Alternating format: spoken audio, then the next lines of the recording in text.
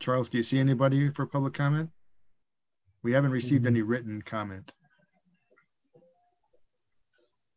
I think not. No.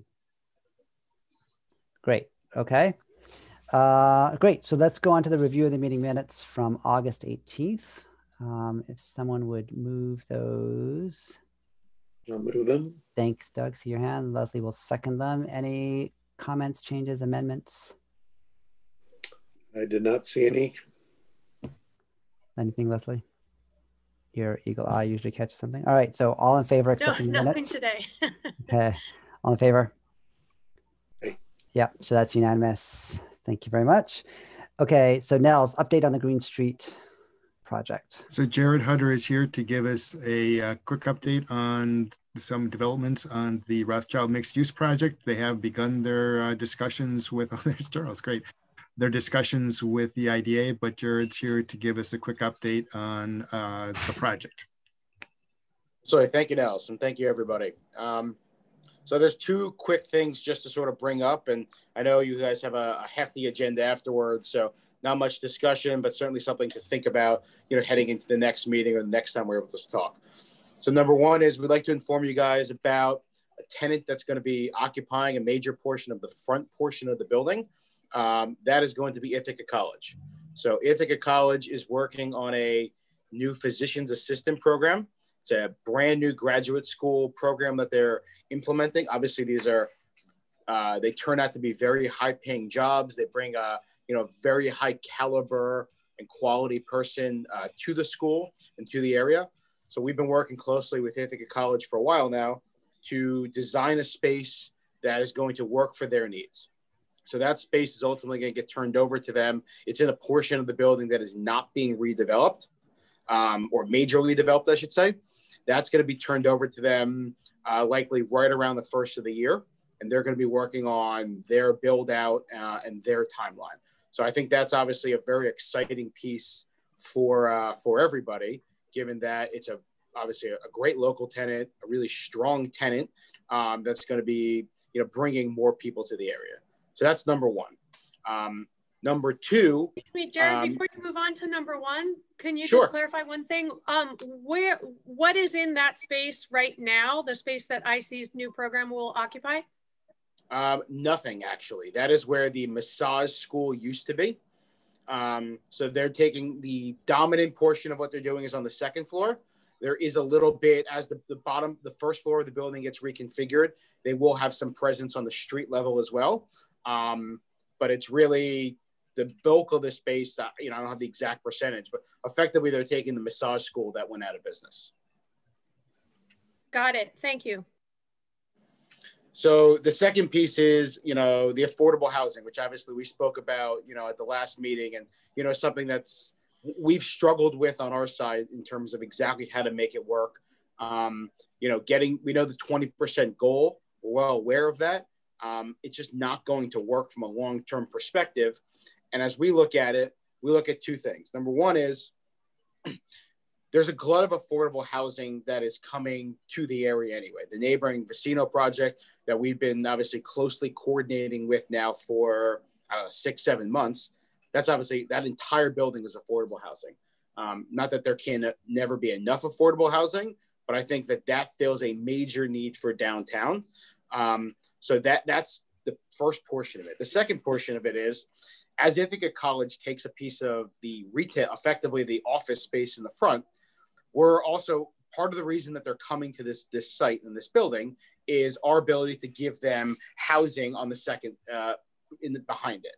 So we've been looking at and trying to figure out and understand the housing that ultimately may get leased to them, you know, at a very favorable rate. You know, how does that conclude into the affordable housing component that that is ultimately required, um, whether it's ten percent or up to twenty percent. So that's something we're looking into. We'd like you guys to sort of, you know, get a sense of that as well. But the other piece is, you know, as it relates to the first part with a lot of affordable housing coming there, what we'd like you guys to think about is potentially finding a way where we can, you know, ultimately mitigate 100% of this offsite with, with a payment, obviously, from us, and finding a way that the city can, in the long run, that the city can utilize those dollars in a better way. We'd like to get support from you guys, um, when the time is right to to find a way to make that work. So really, just you know, some food for thought at this point. But um, you know, we can pick this up at the next meeting with a further discussion. But we don't want to blindside you guys with with all of this at once. The thought process, you know, between Jeff and myself, and unfortunately Jeff uh, uh, had a prior commitment right now that um, we like to give give you guys the information so that we can have a fruitful discussion uh, when the time is right. Thank you, Jared. And just so we have a sense of planning, because we might want to have a little discussion about it so that we can give you some additional information as to what to be prepared mm-hmm. for in that conversation. What's your timeline? Because I know you've been talking to the IDA as well. Do you do you think you'd be back to us for our October meeting, or are we looking at November? Absolutely. November? You would be. No, October meeting. Yep. Okay. All right. So we should plan for that, Nels, because uh, that's going to, I think, be a good discussion. And then um, I don't want to delve into it now, but if time permits, maybe at the end, we can maybe just brainstorm amongst the committee if there's any sort of considerations we want the team to take into account for that discussion, maybe. Um, you know, and obviously I'd love to hear what their outcome of the IDA conversation is as a result of that. I think we'll have a lot of influence. Right. And I know, you know, from our conversation last time, sort of everyone's got their own piece and some of this you guys touch, some of it you don't touch. But obviously, you know, I think this is a this is going to be an impactful project for, for the overall area. So from our seat on the development team, you know, we want to make sure that everybody can buy into everything. And we're not trying to circumvent anything. You know, whatever you guys touch and whatever you guys don't touch, we still want your support um, throughout the entire project. Okay. Well, to I think really appreciate Jared having a heads up because we wouldn't want to be, as yeah. you say, blindsided by that in October. Yeah, no, I thought it just. So I think that give you guys the quick, uh, the quick update there. Right, and continue to keep us update. You know, in terms of what's happening with the Ithaca College. I mean, I think getting them visible on the Commons that's certainly a very positive thing. I'm sure for them, yeah. and I think will be great for the Commons merchants as well. And I, am not totally familiar with the ins and outs of this, but I assume that has no impact on property tax, even though they're a non-taxable entity, right? Um, yeah, I, I don't believe it. I don't believe it should because they're just leasing space. They, they will not own it. Um, it's not even a triple net lease or ground lease or anything like that. They're effectively just leasing office space. So that that should have zero impact on uh, from a tax roll perspective. Okay, great. Doug or Leslie, I mean, just any kind of quick, or Charles, if you're still there, any kind of quick reactions to Jared has something to go away with. Um, I think, you know, again, if we have a little time at the end, it might be worth brainstorming. No, I appreciate the um, willingness to figure out a plan that's going to work for all the parties. You know, it remains to be seen if, in fact, we have a glut of affordable housing. I think a lot of people could argue we don't. But that said, if affordable housing can't be provided uh, affordably for the developer as part of this project, then what's the trade-off that will be be still a win for the community? And well, what I, what I what, all I wanted to you know to give you guys some thought process was we're not looking to shy away from the obligation bring that to zero. What our thought process was was a we are bringing an affordable housing component to the city uh, ultimately via two ways. Number one we're going to have a lease with ithaca college for a large number of apartments in the building at a very favorable rate which will allow those the people that ithaca college is bringing for this program to live at the commons patronize the restaurants, spend time there. Their entire life is going to be around that commons for, for the 18 months that each person is there. So I do think that that is a benefit to the overall area. The other piece of it is we are willing to, to obviously make a contribution into the fund. And our thought process was with the Vecino building going right next door, maybe the city can ultimately find a better way to utilize those dollars. And maybe there, there's another place in town or in the overall area that they want to see more affordable housing and it's maybe it's not right on the commons. Maybe the answer is you do want it right on the commons and you guys will tell us you know what? This is crazy. Just just put it in the building. But our thought process was with the Vecino building having 200 plus affordable units right there um, then maybe it makes sense for the affordable units that the city can can put in place to be possibly somewhere else I'm not a master planner, so I can't comment where mm-hmm. those necessarily would be. But certainly, you know, I believe I'm sure there are powers that be within the city that um, you know that has identified pockets of areas that could use additional housing. And one last clarification, Jared, on the IC program, and maybe you said it and I just flew past me. The the program is undergraduate or graduate? It is a graduate program. It is a brand new program. Um, it is uh, for physician's assistants. So they are in the process of getting the college is in the process of being licensed for that. They've been working on this uh, probably for a number of years. We've been talking to Ithaca, Ithaca College about locating that program in this building for, I don't know, probably at least nine months, maybe longer. Um, and obviously, they've had their own pieces to go through. They were, I can tell you, Ithaca College was very adamant about finding a way to put this downtown, whether it was with us or at another location. They were very adamant about finding a way to put this downtown to help patronize and, and continue to spur development and investment in the downtown area.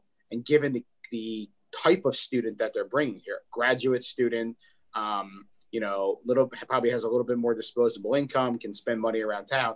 They were looking to obviously help spur the economy downtown with that, with those people. So it's kind of a win-win for everybody. Yeah. Say, uh, Doug, I see your hand. Go ahead. So how many years is that program and how many participants would be in it on an annual basis? So I do, don't don't hold me to this number because I'm definitely not the exact expert. Um, I believe it's an 18 month program um, with basically admissions rolling every six months. So you know they're constantly bringing in a new class of, uh, of people, and I believe that they're trying to start it off with 60 participants and grow it from there.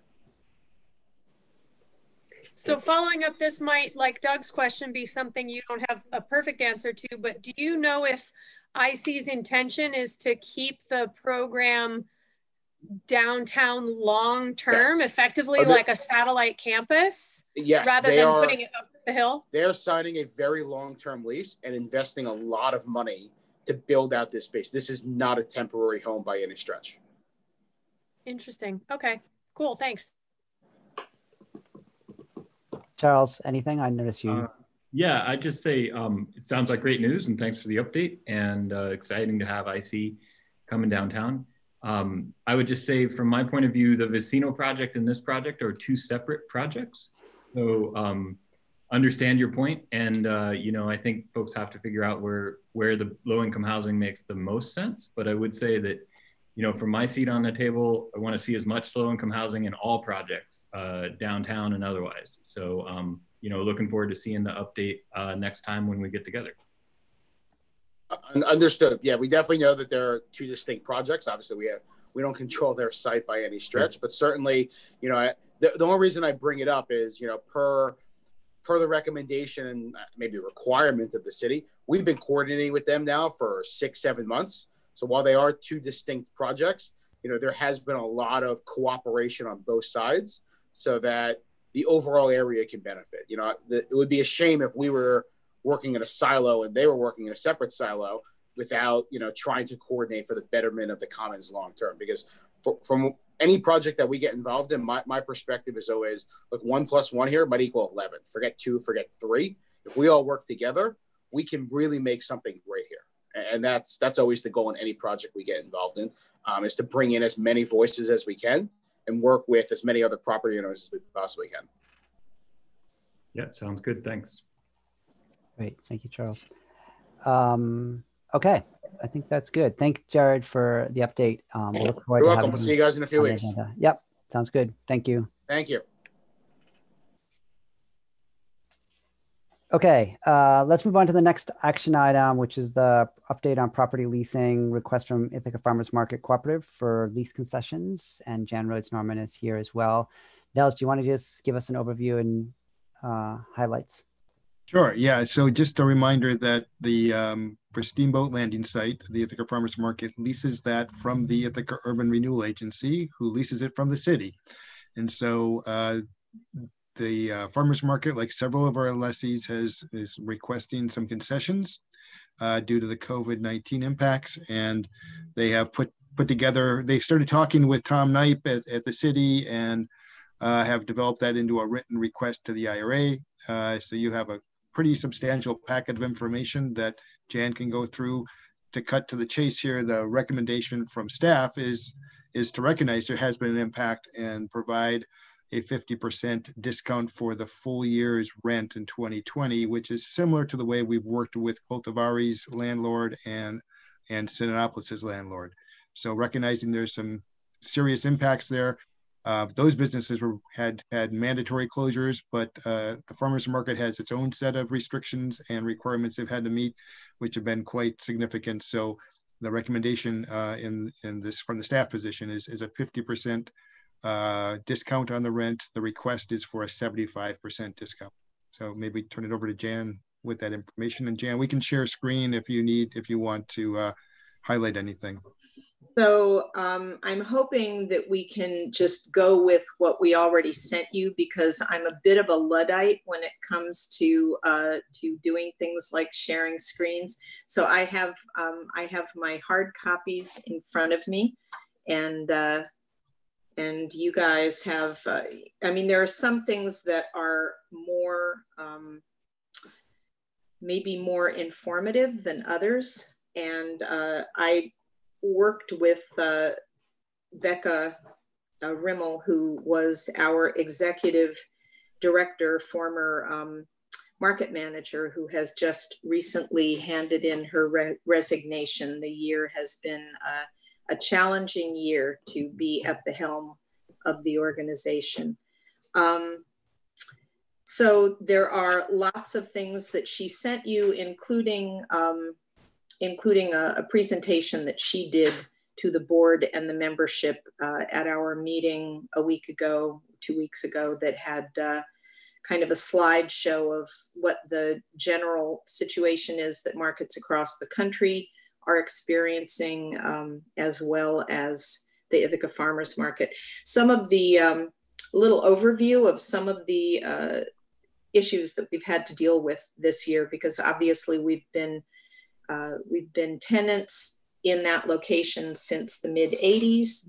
And uh, my cat is trying to join the conversation. I'm going to put him down. Um, and in that time, we've always been timely in our payments. Really, from our beginning in the 70s, we've always been solvent and uh, have been in a growth pattern and have been able to make plans year to year uh, pretty much based on what we have experienced in the year prior. This year, we were doing our winter market because, um, because Green Star was moving. We weren't able to do it in the same location we had been in before.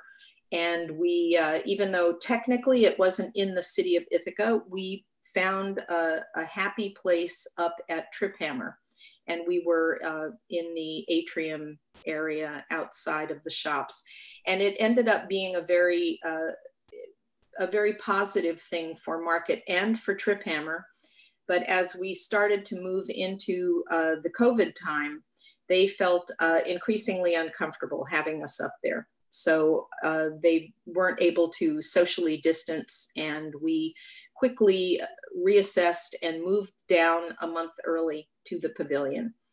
At the point that we moved down, it was when the health department was the most restrictive about how many people uh, could be in the pavilion, what kind of, you know, we were all pretty much, uh, as they say, building the airplane while we were flying it.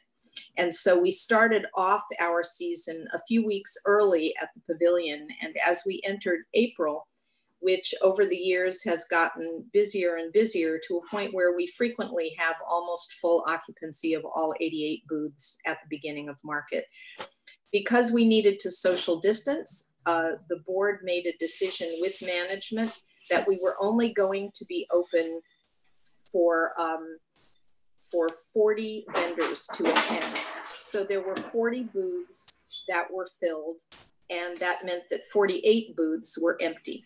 And uh, it took a full month before we were able to allow, it was actually more than a month, about six weeks before we were able to bring back each booth. So that means that the beginning of the market, we had already lost a considerable amount of, um, of income from our vendor fees. Uh, as we moved forward, there were some vendors who were uncomfortable with being down there for health reasons of their own. Uh, there were some vendors who were not allowed to attend because uh, initially it could only be essential businesses. And then when non-essential were able to attend, there were ag, New York State Ag and Market and Health Department rules that, uh, that had to do with food service. So a number of the food vendors were not able to actually start serving food for takeout only uh, until many months into the market season. And uh, and so that kind of brings us to where we are now. It's a hybrid. We are running at about roughly 58% occupancy on Sundays and maybe 78% occupancy on Saturdays. So that's pretty unprecedented that we're not full during peak season in both times. And I think uh, it's clear to see from those pavilion rentals that were on that page that just uh, moved by that um, we had been, in terms of bookings, we had expected $65,000 in rental, which is, uh, you know, a huge, without sticking all of our expenses to the vendors, it really is a boon to our budget to be able to rent the pavilion. As it turns out, they were all canceled for this year. Uh, and we what we will remain having for the year is 2925 and we had to refund two of them uh, most of the other ones we've been able to reschedule for 2021 the that's great uh, the negative side of that is that that means that that money that we've gotten for deposits needs to be earmarked. It's about $71,000, needs to be held over in our available funds till next year. And that we won't have that influx of cash coming in next year. It will, it will already be, be sitting there as deposits for 2021. Um, the we have been trying to do projections because we have as we are in the middle of September, we pretty much are done with our season in terms of what we can expect for income. And, uh, you know, September, usually September and October, you can look at significant tourism that is not happening this year. And, uh, and many people are kind of winding down the season. So, in terms of member fees, we don't anticipate uh, a large amount of income coming in uh, going forward. And as you mentioned, we had asked for 75% reduction in our rent. We have already paid 25% uh, for the year. And um, yeah, so I rather than me continuing to talk, I should probably just ask if there are questions that uh, that you have that I could answer. Oh, by the way, the last thing that I'll say is that we've been, since it's a moving target, you know, we're antici- we're trying to project forward based on what we've been experiencing. But of course, that can shift on a dime if, you know, we've had a few, even though we've been pretty rigorous in um, the the um, requirements that we've had for how many people are in the pavilion. We've reduced the number by about 75 percent. Um, we have, you know, people have to wear masks. We have signage. We make announcements all the time. They're not allowed to eat in the pavilion. With all of that being said, the health department has received two complaints from people in the community. They came down and they observed. And uh, unfortunately, it was the weekend that the students first came back and people standing in line were not social distancing to get into the pavilion. And there was the biggest line that we'd seen since last year. And um, so we have uh, gotten a citation, a violation from the health department. And uh, so we're kind of sitting on the edge of our seats about that. So many things could change. And for that reason, uh, even though it, looking at our balance sheet, you can see that we do have the funds in our account to cover all of our expenses should there be no further income. Uh, the problem is that we know that 2021 is not going to be uh, a normal year. It's going to be, uh, I think, cautiously you can say um, that it's going to start with some with some real spillover from where we are now. So we don't want to um, we don't want to put ourselves in a tenuous situation. So we're trying to be judicious about keeping some money aside. So that's all I'll say for now. Perfect. Thanks, Jan, for the overview, and thanks for sending the really comprehensive packet in advance. Um, why don't we open it up for questions from the committee um, on either the program or the finances? I had a question, and I don't know if this is actually for Jan or for Nels.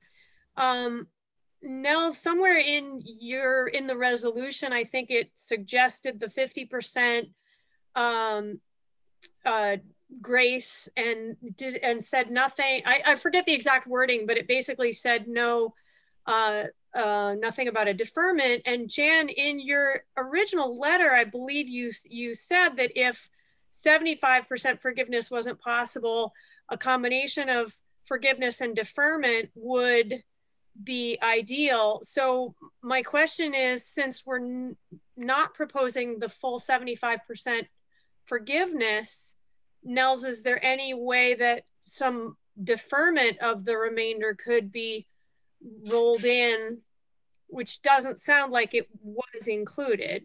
Am I correct in understanding that?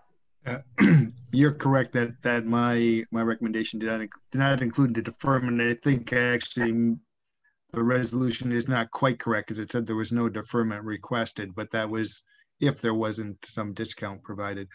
Um, given what Jan said, I'm not sure how a deferment really solves their issue if they're worried about the future year, because really a deferment would take, I don't know, one of the quarterly payments and stretch it out over 12 months. But if 2021 is viewed as a you know, an uncertain year, I'm not sure that provides a lot of benefit. Uh, I thought the discount was a more significant uh, response than than the deferment in this case. But certainly, a deferment is a possibility to look at. Maybe Can I, I guess I was thinking if if the if the 50 percent uh, forgiveness went through, would a deferment of the remainder be useful in any way? And I don't know what that would look like. And maybe Jan, you could say yeah, it would be great, or no, it wouldn't help at all? Um, well, that's that's a good question. I I hadn't thought of that. Um, I you know I know that when when Nels and Tom and I first spoke, my concern about um, because one possibility that was brought up to me was the idea of doing a deferment. And my concern with that was that it was almost like front loading our problems onto a year that we're anticipating will be um, difficult, uh, as, you know, as Nels mentioned. So, uh, you know, that that could be that could be helpful. Yes, it could be helpful to do um, to do 50% of forgiveness and um, and the 25% deferment to next year. Um, yeah, I mean, it, you know, it's we we are anticipating a a shortfall this year that ranges from around ninety two thousand dollars to $142,000. and forty two thousand dollars, and you know we have no idea where in that range things will fall.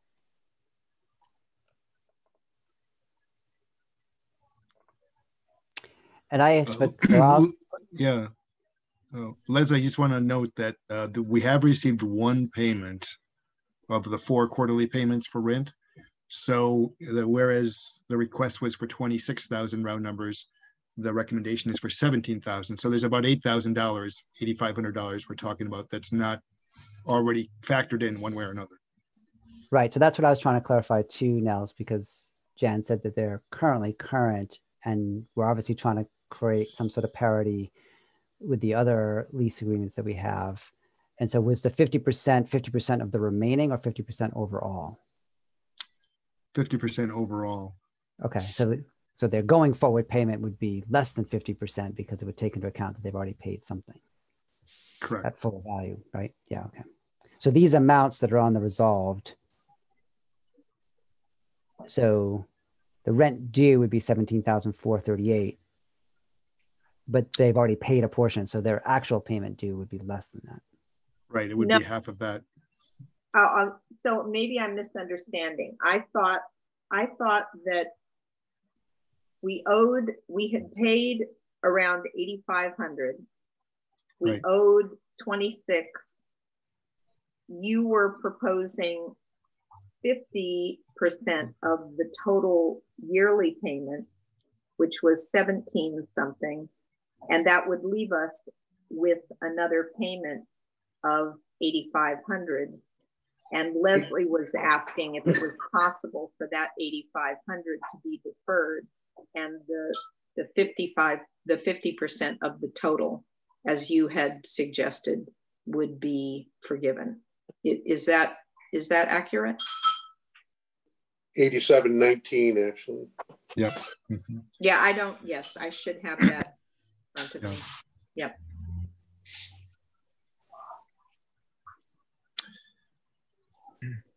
So an issue, an issue to consider here is that the city is the ultimate uh, bearer of, they receive the funds from the loan funds. It's- The IRA is really acting as a conduit. Mhm. And the city has already developed a budget for this year of what their expected revenues are going to be, of which they factored in these lease payments. Um, they recognize that, you know, there are hardships out there and, but they also have their shortfall. So um, I, I think a deferment would, would some, would, would crimp the budget a bit for the city, uh, you know, on top of the discount, just so it's, you know, understanding that they would expect some revenue from this lease and there would be the 8,700 that was received already, but there wouldn't uh, be any additional if, if that final quarter was, um, quarter payment was deferred to 2021. And speaking as uh, with with another, I you know another hat on, speaking as uh, a resident of downtown Ithaca for my business as well as my home. Um, you know, I'm I'm fully aware of how pinched the city budget is and where the where the income does come from in terms of property taxes and sales taxes and everything is down and Congress didn't pass any appropriations for cities and you know so I, I think that I think that the market is fully aware that this does not come it doesn't this ask does not come without sacrifice um, on everybody's part so you know we don't we don't think that there is a, a bottomless pit where the city is concerned at all we're aware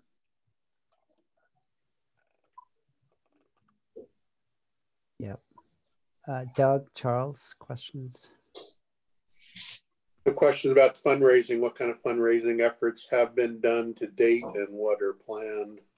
Okay, so um, so that's actually an excellent question because we had been thinking of before all of this happened. We had been thinking of doing um, kind of a large uh, capital campaign because we had received uh, a grant for the parking lot and work on the pavilion that would have required um, you know, the next piece of it would have required a, a, significant chunk of money. We part of it was a 15% matching from from market, but we were we were anticipating doing um, doing a big campaign for that. And um, what ended up happening was we did a community uh, community fundraising campaign um, called I think it was Market Heroes asking people in the community to um, to donate to help us defray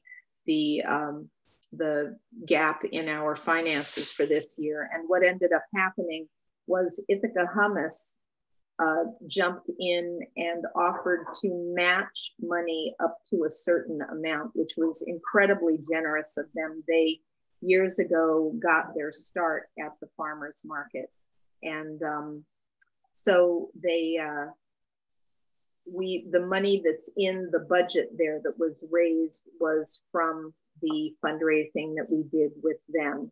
And then i had applied for um, a ppp and we got some ppp money. So that is um, that's reflected in there as well my concern in terms of us trying to fill our shortfall this year by um, going back to the community and asking for, for more money is that I don't want to create donor fatigue for something really substantial that we're looking to do by being there with our hand out repeatedly. So we did just do this fundraising uh, thing with Ithaca Hummus uh, about four weeks ago. So it's unlikely that we're going to be doing anything else soon. We have been exploring other possibilities, um, possibly looking to see if there's any sponsorship uh, from you know larger businesses in the community. We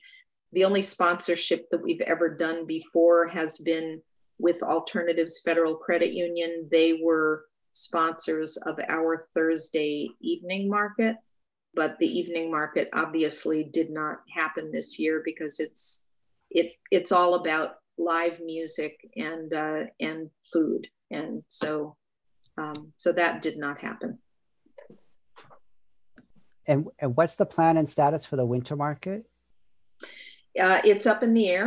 Uh, there is a committee that is looking at winter market to see um, to see where it's possible for us to do that. We are having some difficulty because um, because of the issue that I mentioned with Triphammer. Most other places where you would be looking at an enclosed place, enclosed space with lots of people, um, nobody is very excited about that. So it's a you know, I mean, we even at one point were thinking of the possibility of trying to do something down at the pavilion, but the pavilion fills with snow and and it's it's pretty uncomfortable down there. So it's uh, it's being actively worked on. The farmers at this point have really come to depend on that for their livelihoods, not just the farmers, food vendors, um, and certainly the community has really over the years come to see that as a really important uh, part of their, their local food system.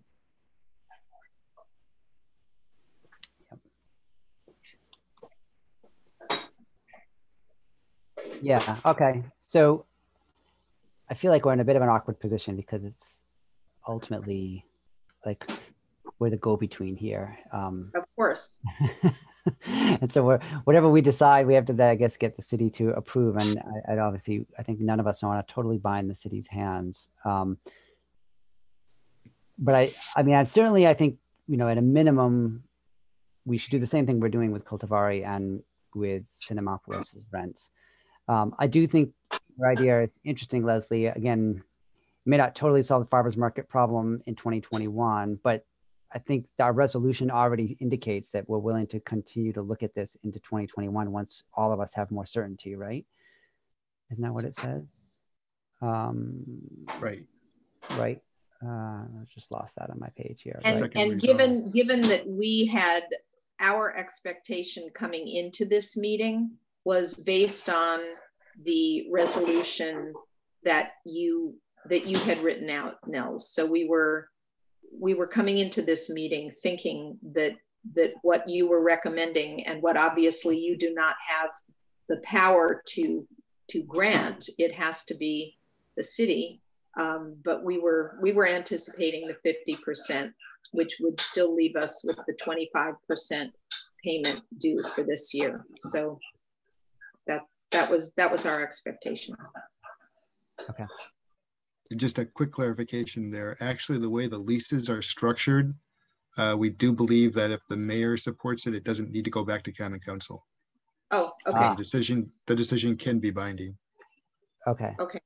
So, all right, that simplifies things slightly. Okay. Um, so I don't know. Leslie, has he heard about this at all? Has he had any indication that we're asking for this? Yeah, he's tracking this. I mean, it will it will need to move whatever this recommendation is from the committee will need to go to the full IRA where the where the mayor will chair that meeting.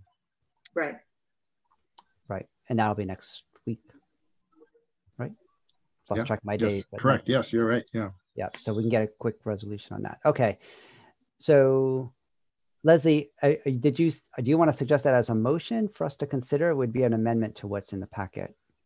No, not at all. I wanted to just explore the idea because it seemed like a com combination of forgiveness and deferment hadn't been really considered.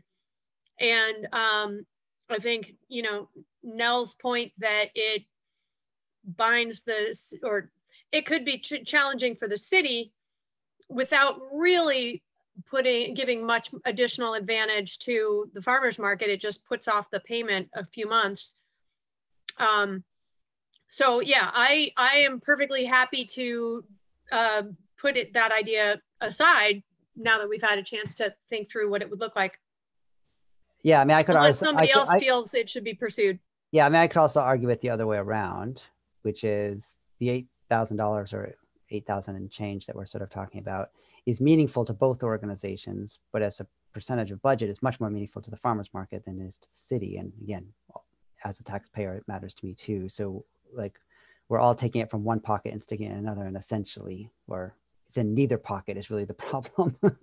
Yeah. Right. So, um, so it depends on which lens I guess we want to look at it through. Um, obviously, it matters a lot to the city as well. I guess I would argue that uh, continuing a deferment, or not a deferment, uh, this reduction in rent for 2021 would be better than deferring this year's till next year. Right. So you're proposing so like a 50% for 2020 and a 50% for 2021 That would be my be real, suggestion, would be real dollars. right? is it premature to offer a deferment of that substantial magnitude for 2021 already? I mean, w- clearly we're open to it, but maybe should we wait and see at least how part of 2021 rolls out?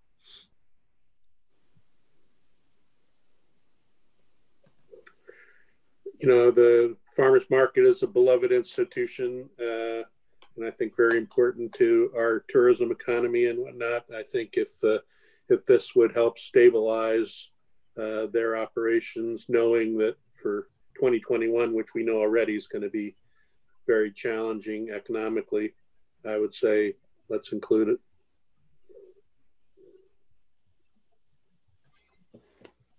I mean, the advantage to me of that, Uh, Doug's suggestion is yes, no, none of us know exactly the depth of how difficult 2021 will be, but we know it's not going to be business as usual, at least certainly for the winter market and probably at least the first part of the summer season. And, you know, to me, the advantage is it gives farmers market a little bit more clarity in terms of their two year financial planning, right? So, what are they going to do this year to stabilize? How do they then take that into next year? At least they know what this fixed cost line item is going to be Right. Right? Otherwise, then they have to come back at some point in the spring and we're talking about it. And then, you know, again, amidst all the uncertainty, it doesn't prevent, I guess, you guys coming back, Jan, if things are really cratering. But at least I would think giving you a little financial clarity for two years is easier than trying to plan just for the next six months. Well, I won't deny that, that, that absolutely is true. Nels, does that fly? Are, are we uh, in a position to offer that, given that it's quite a ways out? Uh, I think technically, we are. Um, we did structure the lease payment to, to kind of coincide with the season of the market. So I think the first lease payment is due in June. I think it's like June, August, September, November. So there is some time before there would be a first lease payment due in 2021. Uh, if you wanted to wait to see what was going to happen, but that doesn't give a, you know, that doesn't give any certainty for budget planning. Um, so I think you, that you, you could recommend that and see where it goes with the IRA uh, and the, and the mayor. Well, I guess I would move it with that amendment. All right. Is there a second?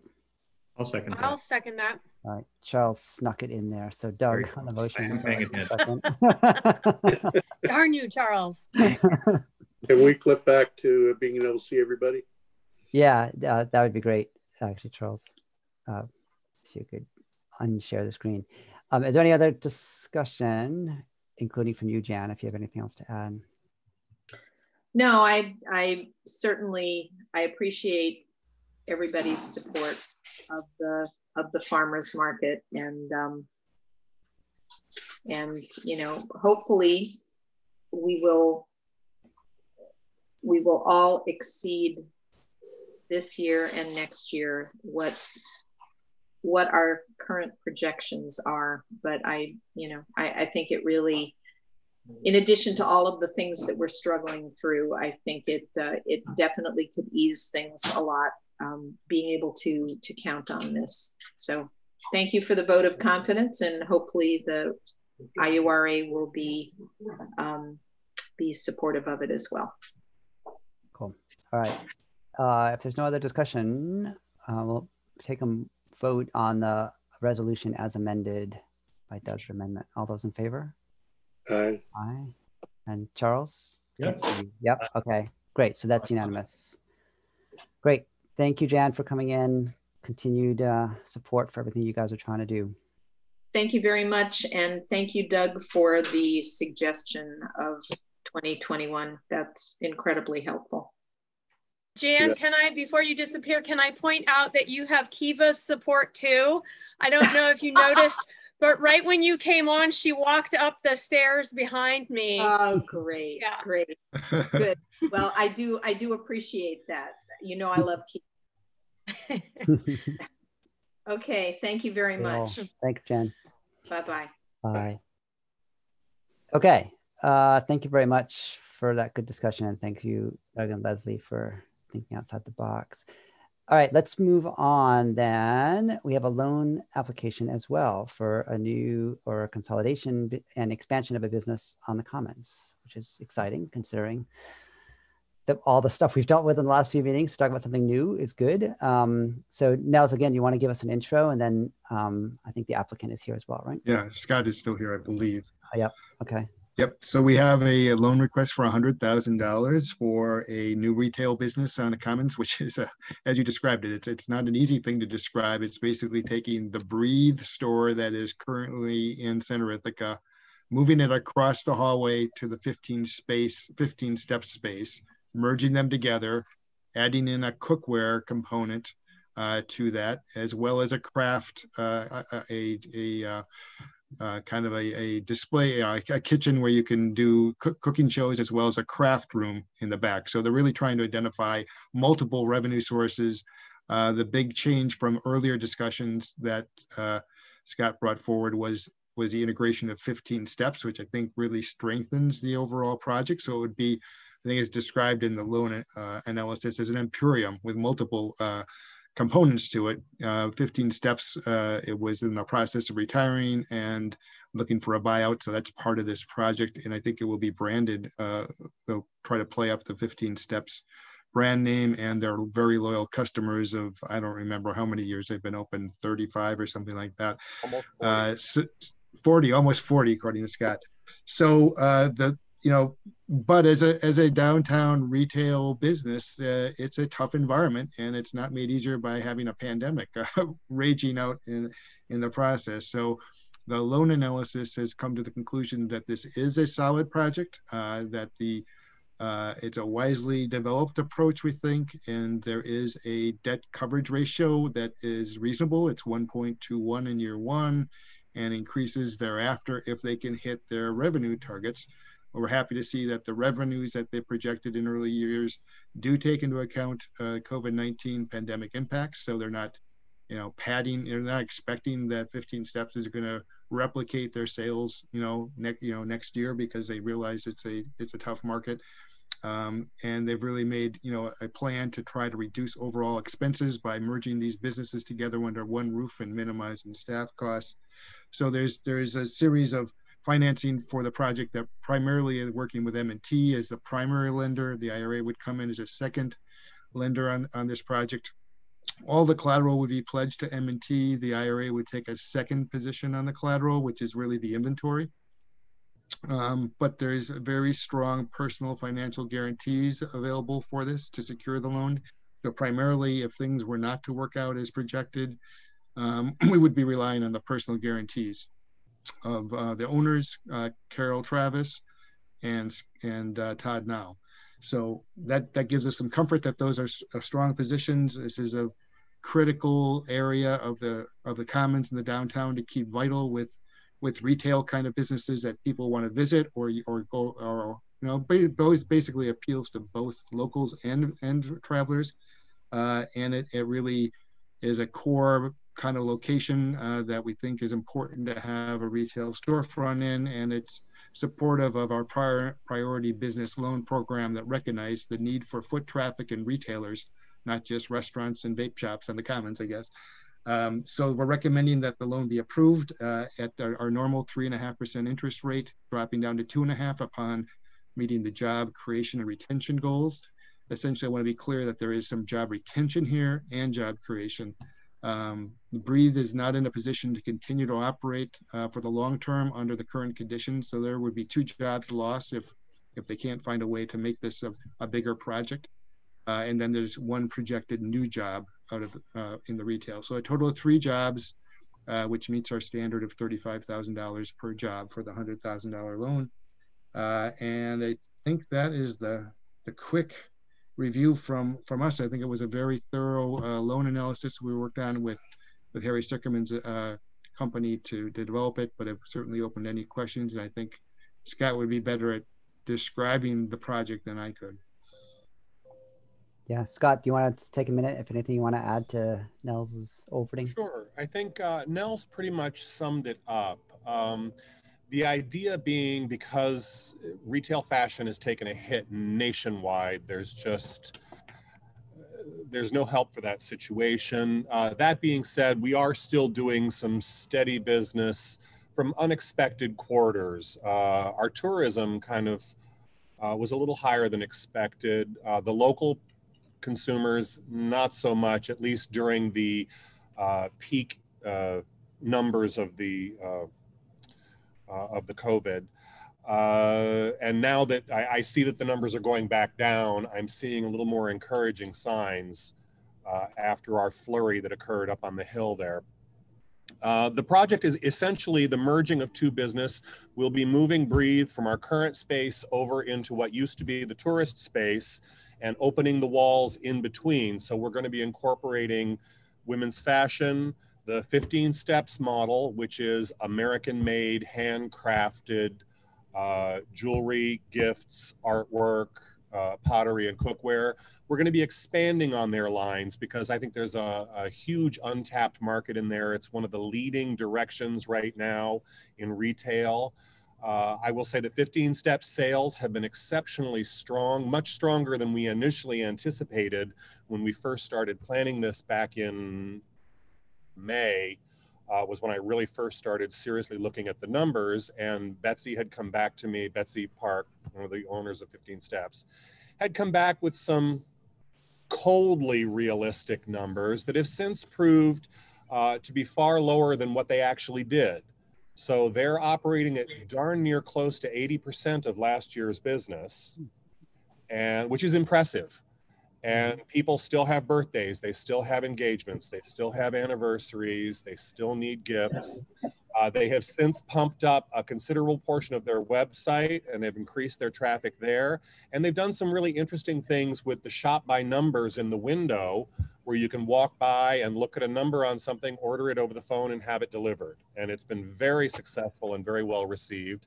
And we're going to continue to capitalize on these trends and at the same time incorporate fashion, expand on their uh, cookware and housewares element, and then put in a demo kitchen. And I have a number of exceptionally talented chefs and caterers who've all expressed uh, enormous excitement about being a part of it and are willing to come down and offer classes. I, we've also gotten a num- uh, considerable feedback from I think every banker in town looking for entertainment for VIPs when they come in town.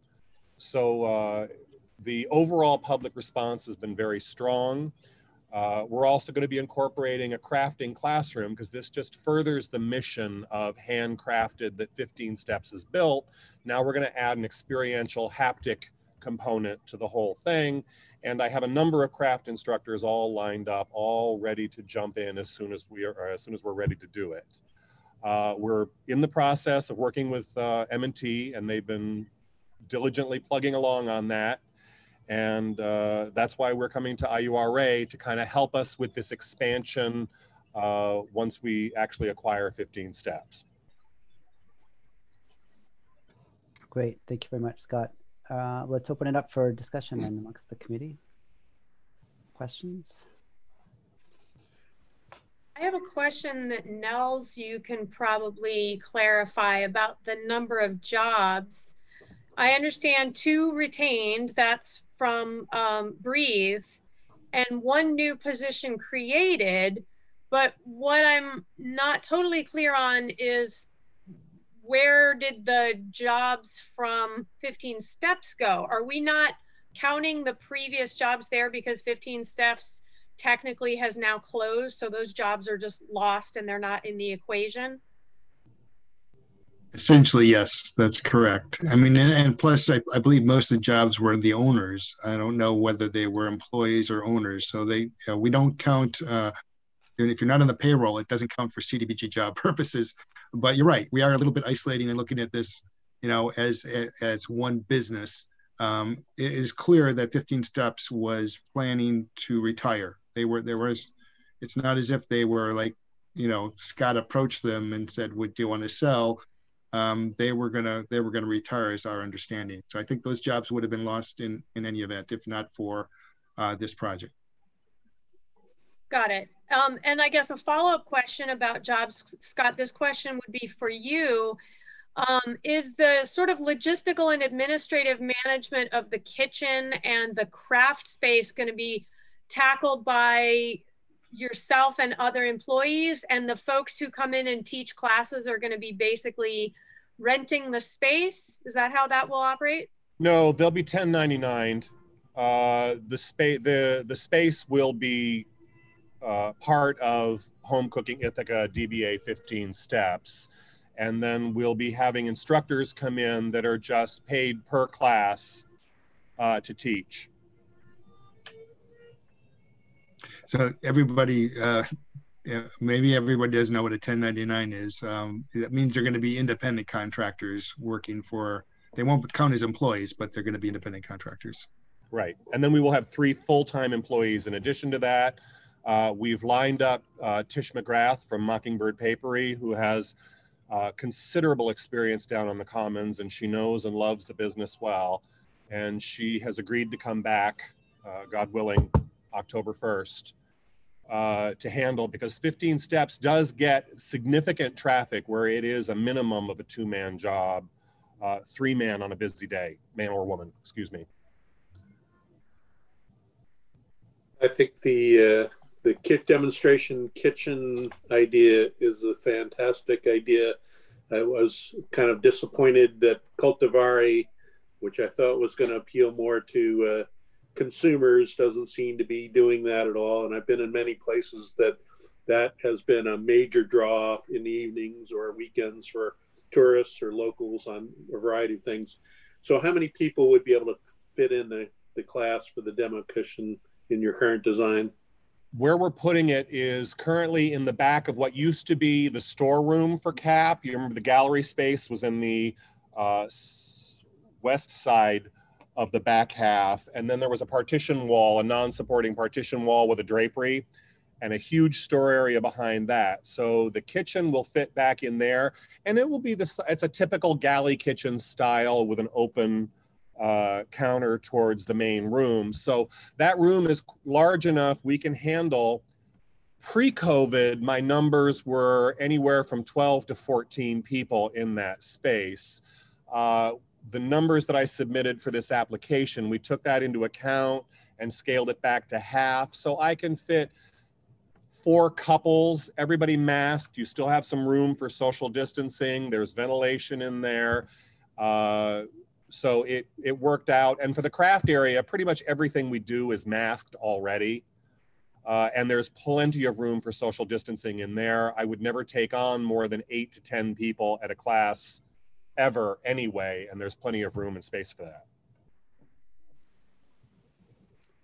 And uh, what do you envision the fee for a typical culinary class? Do you have any sense of that yet?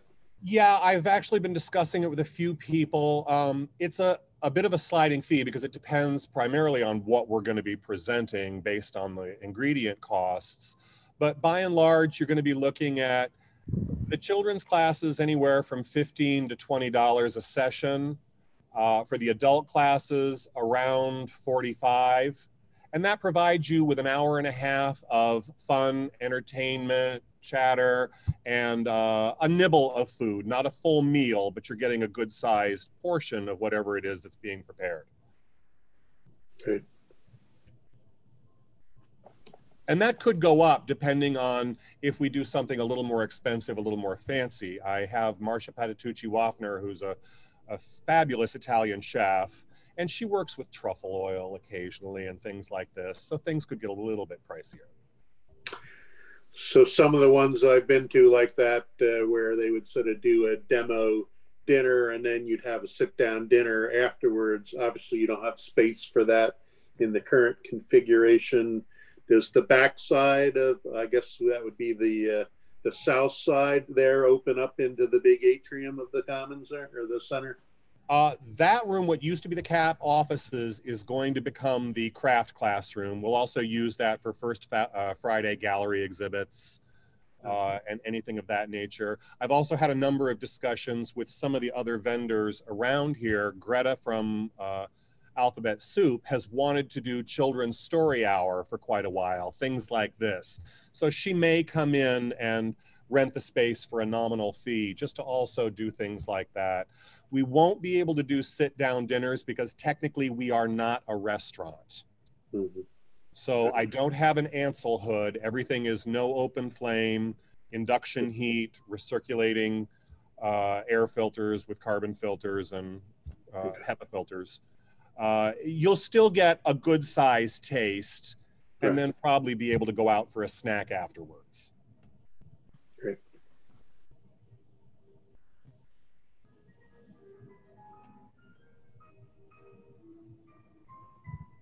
Any other questions? None for me. Okay.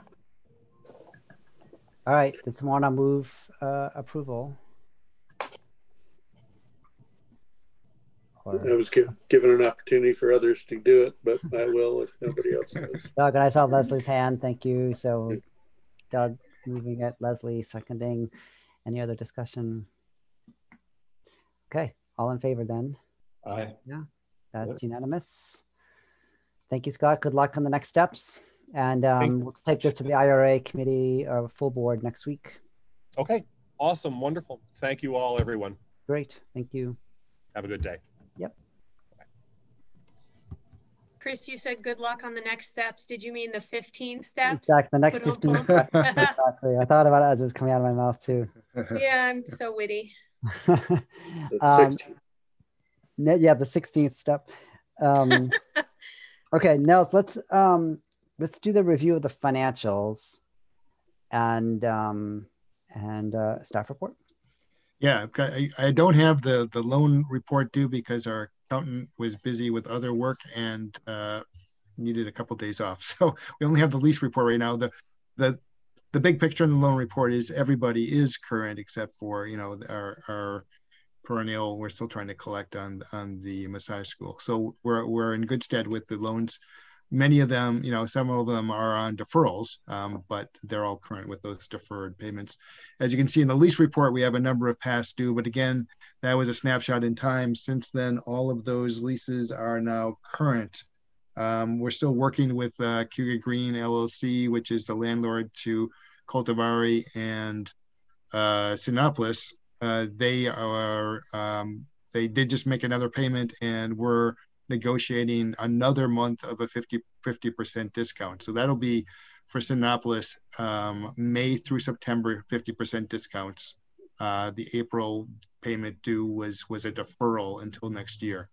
So that's that's you know to put that in context with the other ones that or our prior uh, agenda item. Coltivare is only I believe asked for two months of discounts. Um, so you know, we've been responding to the requests and working with the landlord. So uh, again, our policy has been if the landlord provides that discount, then we would also provide a discount to the landlord. So those, those look in good stead, uh, generally speaking, and we will continue to work with each of those. I did just get a request from uh, State Theater of Ithaca for a, they had a six month deferral where they were paying interest only. And given that they are not allowed to be open, they've asked for another six month extension. The IRA passed a resolution back in March granting that authority to automatically uh, approve deferrals during the COVID emergency period if they were considered reasonable. And I um, I confirmed with them that they can continue to make their $550 interest only payments. So uh, based on that original approval, um, I will work to extend that since they are not in a position to, to be generating any income. They are mm-hmm. still waiting for the authority to open. Uh, a couple of other, other updates here is that uh, the ownership of LAG, better known as the Rook Restaurant, is looking to have an ownership change. Uh, one of the owners wants to buy out the other owner. Uh, and so they're asking for a uh, um, removal of some of the collateral that was offered by the owner who's being bought out by the other owner. So that will be coming forward to you probably in the October meeting. Um, they will be looking for release of some collateral that loan was originally $40,000, now paid down to 15,000. So it's been a very successful uh, loan for the IRA, uh, and they've been working in a, uh, you know, really stabilizing that West State Street corridor area. So it's been positive. Uh, we've talked with the developer who was a, anointed as a preferred developer for the Inlet Island uh, urban renewal project that we talked about last month. He is committed to provide written communication to the committee for the October meeting about their plans so we can understand what their position is. Uh, generally speaking, it sounds like they're very interested in submitting a proposal for consideration for redevelopment uh, on Inlet Island. Uh, and the other bit of news I have is that uh, the we just received word a half hour ago, maybe it was an hour ago, that we have received our second tranche of CDBG COVID funding. So we have $367,000 award, which translates to about $300,000 for projects that we can utilize for uh, activities uh, to address COVID related issues. So that's good news to have some more resources in the community because we also received word that the county has proposed to, uh, the county's proposed budget um, zeroes out the community outreach worker program uh, for funding, which has uh, been a pretty uh, successful program to engage with people in the downtown area and the homeless population and go to do outreach at the jungle. And it would be a shame to lose that resource. um, so that might be one area to want to take a look at.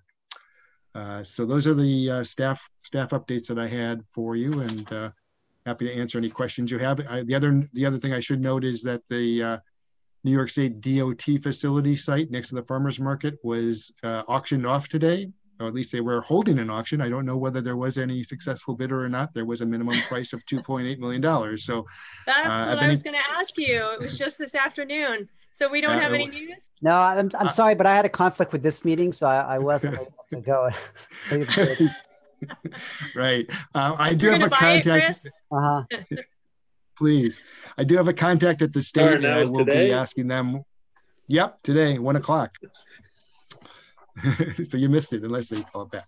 So uh, we'll try to find out what the outcome of that auction is and uh, report to you about that as well.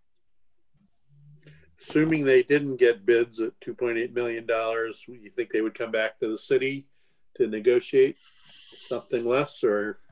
What? Uh, they might uh, what uh, my guess would be that they would try a, another approach maybe with setting a lower minimum or maybe doing some sort of a an RFP approach you know process an option agreement rather than I think one of the concerns um, was that uh, the auction is final you have to pay for the you know you don't you pay for it and it's yours uh, and you know then you have to think about can the soil support the building I want to build will the planning board support it what about you know, in and out traffic on a one, you know, everybody has to go on Third Street to get in and out of the site.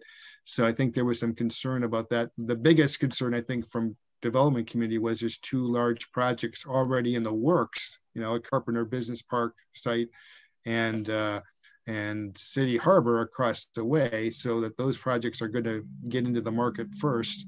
Uh, and they're, you know, they're all, they're they're all both those projects include a mix of medical and housing uses, which is, um, you know, may not may not leave a lot of new demand to be able to be soaked up at that site in the short term anyway. So we'll see. Uh, last word we had is there were seven to nine bona fide serious bidders planning to attend the meeting, the, the auction.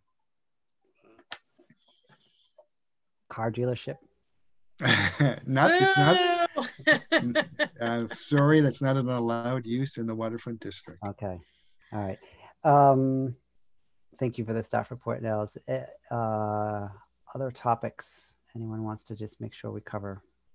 I've got one thing about the next meeting that I just wanted to just raise. Nels, what's that development that's going on on East State Street, uh, right up for the tuning fork there? Um, I'm not sure if I know what's going on. What, what, what physical activity you see? There is a there's a. pro- I, I guess I do know what it is. It's it's it's. Uh, now that you mention it, uh, the city is rebuilding and stabilizing the retaining wall that holds up East State Street. Ah. So they have to do a lot of invasive work to get that ready. It's not uh, structurally sound any longer, or at least it has some challenges. Uh, however, there is a developer interested in trying to integrate with that. So the owners of Gateway are working with another developer to see if they can uh, integrate a project into that site on the parking lot down below. Um, so there may be some components of each of those things going on. It's essentially a retaining wall project, but it may be a retaining wall project plus more in terms of some of the investment to support a future development project. And if whatever development is going on there, I know that there was the, a little trail along the creek there. Would that be sort of protected or included in whatever development there is? Yeah, we call that we call that the Winter Village Trail. I don't know if it's an accurate name or not, but um, that would that is a, uh, on the city's. The city has a holds a right of way for that trail. It Mhm. also has where the water line goes underneath there, so there's also an easement kind of issue Okay, as well. And the city is is been for years searching for additional grant funds to try to extend that to go further up Six Mile Creek to extend that that route. Um, there, the plan to extend it requires three bridges. You have to cross over the the river like two or three times because you run out of you know embankments come up right to the water edge. right. That's good to know.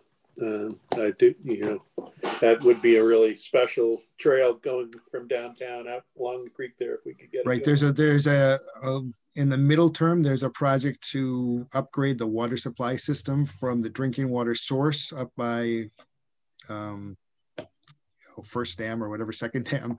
Yeah. Uh, and the I, the hope is that somehow when that pipeline gets rebuilt or repaired or whatever we do, that we could then utilize that as the base for for a walking trail. Okay, that's cool. Um, we have a meeting on Thursday, on Tuesday, 13th of October. Um, I have a conflict until four o'clock. Um, I'm happy to have you guys start for half hour without me, but it sounds like we have a media agenda. Um, I could also start at four if people were amenable to that. Rather than changing the date, I would hate to change the date. Not a problem on my side. Four You say o'clock October 14? Be the 13th, uh, Charles, 13th. Tuesday the 13th, and I'm proposing four o'clock instead of 3:30. Or you guys start at 3:30, and I just join half hour in. That's fine with me. Or alternatively, if there are things that don't require a quorum, or if Nels, you could do the staff report uh, at the beginning, or you know anything like that, if that makes sense. Yeah, I don't know if we'd have an hour of of non uh, Well, it'll be a half hour, non-acting items. Um, 3:30 to 4. yeah, yeah. I mean, we'll we'll we'll likely have um, some a couple of items, but I don't I don't. The big item I think really is going to be the discussion with uh, Rothschild's mixed-use development project. So it would be best to have everybody involved in that discussion. But yeah, we could probably figure out close to a half hour of action. Um, Well, as Speaking of which, uh, sorry, I just looked up physician's assistants. That's a three-year program, master's program. That's what I thought it was too. He said 18 months. I thought- Uh, it might be that some of it is out in the field, though. I'm not sure if it's all at a classroom setting. You're. Well, I'm fine if you guys start at 3:30, handle the financials and the staff report. And if all three of you are there, there's a quorum, so you can certainly start on official business. If you want to put the Rothschild redevelopment project a little later, so it starts after I arrive, I'm fine with that. I'd hate to miss the meatiest item of the Right. meeting, probably. So we should confirm that, that that looks like we have a quorum for that meeting on the thirteenth at three thirty, because if, if Chris is late, okay, Charles is a yes. Yeah, okay, so then, yeah, we can go for three thirty. So Doug, if you would chair for till I arrive or chair for the whole thing, it's fine, either way. 30 minutes, I can do it. Awesome, It's at your maximum. cool. All right, any other business? Uh, do you want me to ask the developers of Rothschild for a, a proposal of what they propose, you know, so Yeah. that there's something to respond to because they kind of like talk in circles sometimes. It's hard to know And I think. I think what we're gonna in- keenly want to know is, yeah, what are they leasing these pa- apartments out to the college at, right? So they're coming to us saying the financials don't work to get twenty percent, but clearly they've negotiated some sort of long-term deal with the college at what sounds like is below market. Um, so I'd like to understand Hmm. what those economics are and how it affects the overall economics of the project and so on. Because, right, because the case that's going to have to be made to the public and to the common council is that, I mean, it's the, the, the optics of that of that is the, the risk is that the common council will be concerned that in lieu of affordable housing for workforce, we've got affordable housing for graduate students, which is subsidized by a lower rent to Ithaca College. So I think understanding the full economics of the package is going to be helpful for us to understand understand whether or not the in lieu payment that they might be proposing is a is a good trade-off overall for the community. Yeah. In in putting, can you guys hear me? Okay. Yes. Yeah, in, in putting it back to them and asking them for a proposal, Nels, I would say that we started out with 20% affordable housing and they've talked about a lot of different things. Um, and the conversation was nice today, but I agree with Chris. I'd like to see the financials that show why they should move off the 20%. So I think our negotiating position is to hold the line and for them to make a quantitative argument not a qualitative one, but a quantitative argument about why they're coming off 20%.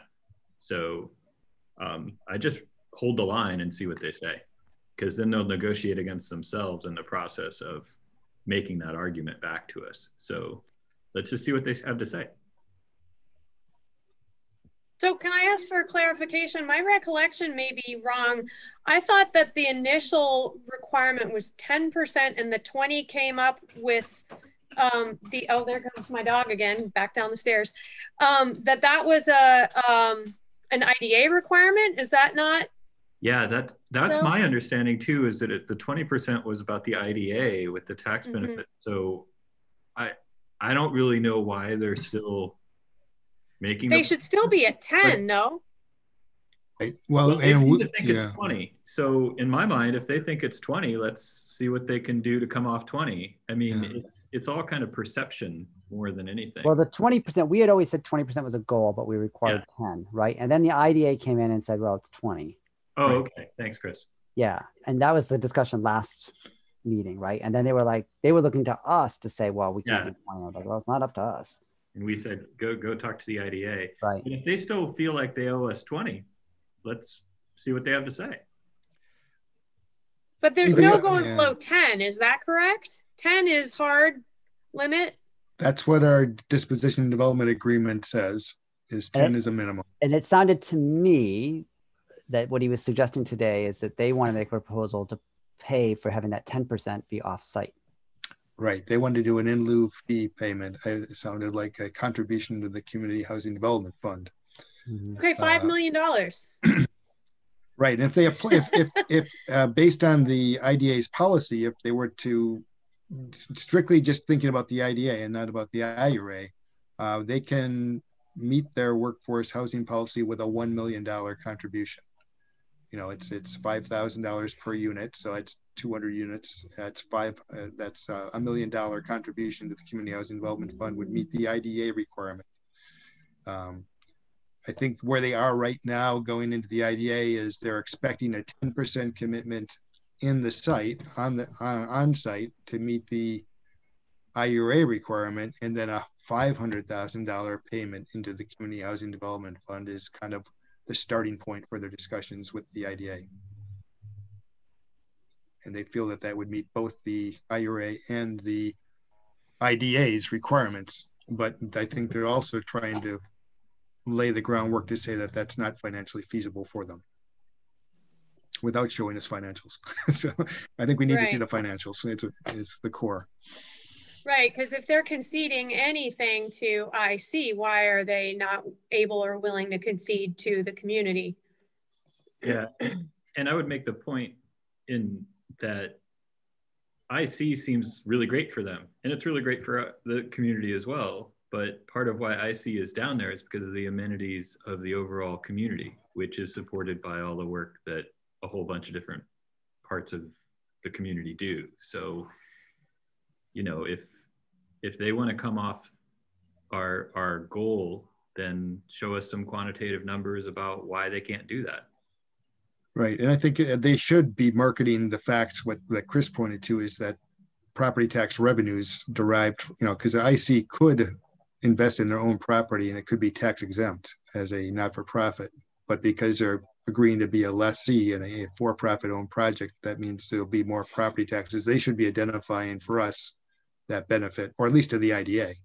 Yeah, we're gets- really more focused on the housing.